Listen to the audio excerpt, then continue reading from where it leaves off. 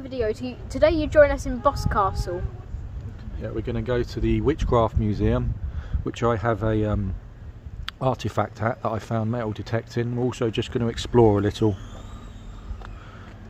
We just had lunch in the Cobweb Inn, which is this pub. It's a spooky pub.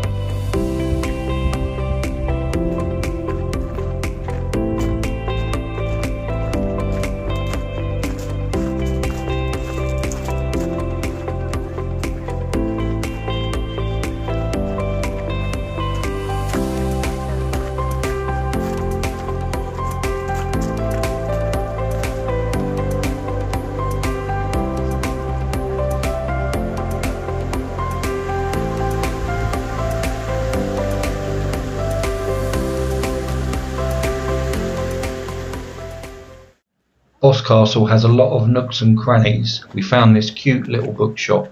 Faden bought a book on locomotives.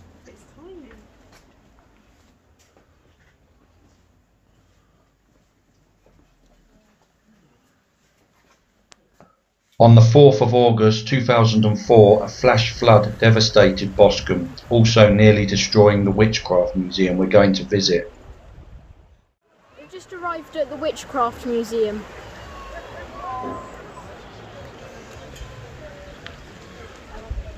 The waters were said to go up to about one and a half metres high. It washed many of the artefacts away. Only after much searching a lot of it was found, but some were lost forever. The museum was founded in 1960. Thankfully, because I've donated an artefact to the museum, I can enter for free.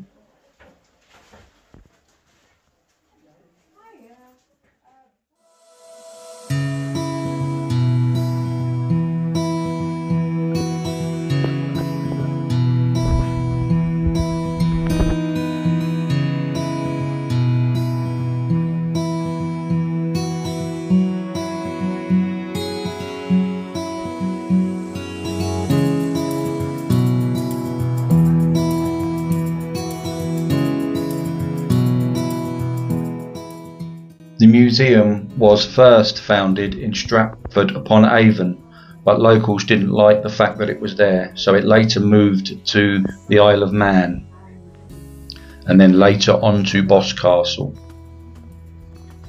This is another charm for protection, and I chant this as I nail a horseshoe to the door. Mummified cats like this were found stuffed into witches' chimneys, said to ward off evil. This is the amulet I found buried in a field whilst metal detecting.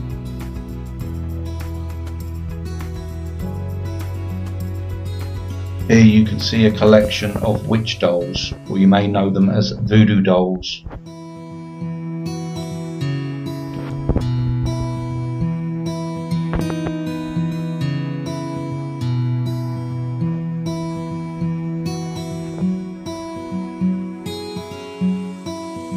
Museum covers all aspects of witchcraft, from Christian witchcraft to pagan witchcraft to Ouija boards and more modern day witchcraft.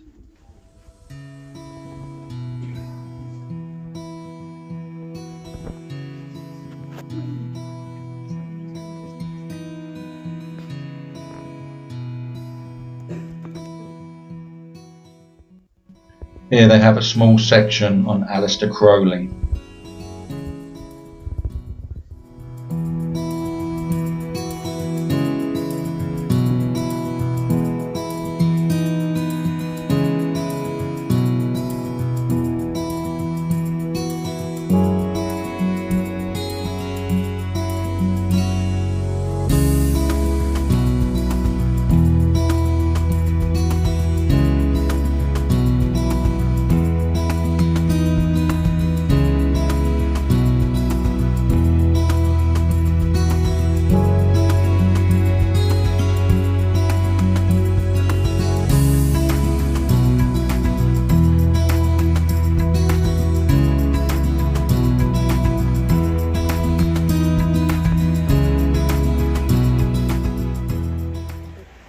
Boscastle is full of new age and witchy type shops, so if crystals, spells, and that kind of thing are your thing, then you may want to have a visit.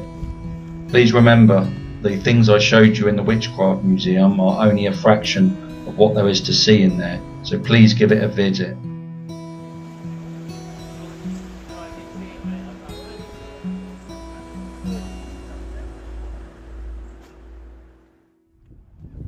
Here is where the flash flood come in from the sea that swept through Boscastle.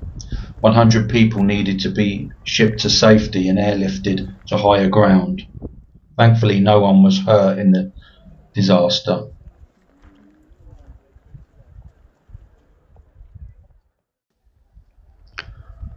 The disaster cost millions of pounds worth in damage, but the community coming together soon raised enough funds to fix the damage that had been done. Here you can see the flood walls that now protect the village from further flash floods.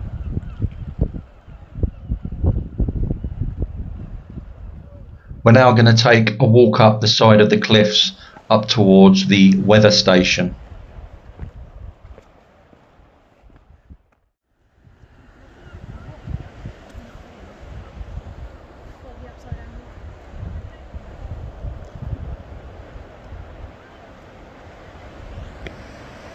Maybe people. We're now heading up to Willapark.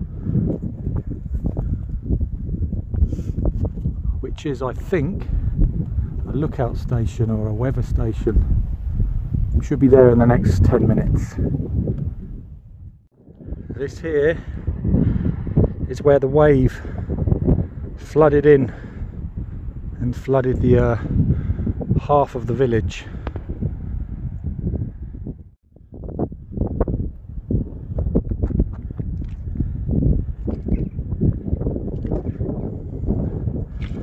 You think of it up here? Interesting. What do you like about it? We got a really good view from here and uh, calming because of the wind. We just arrived into the top of the wind station.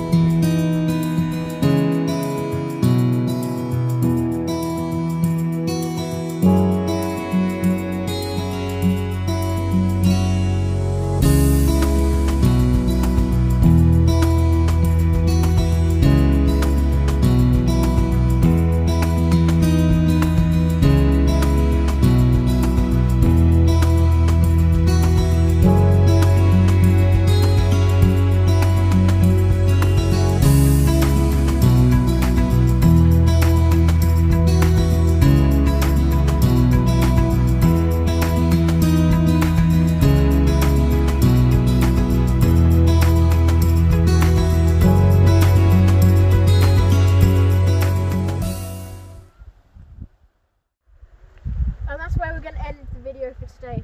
I'd like to thank you all so much for watching. Don't forget to like and subscribe and also hit that bell. Goodbye all.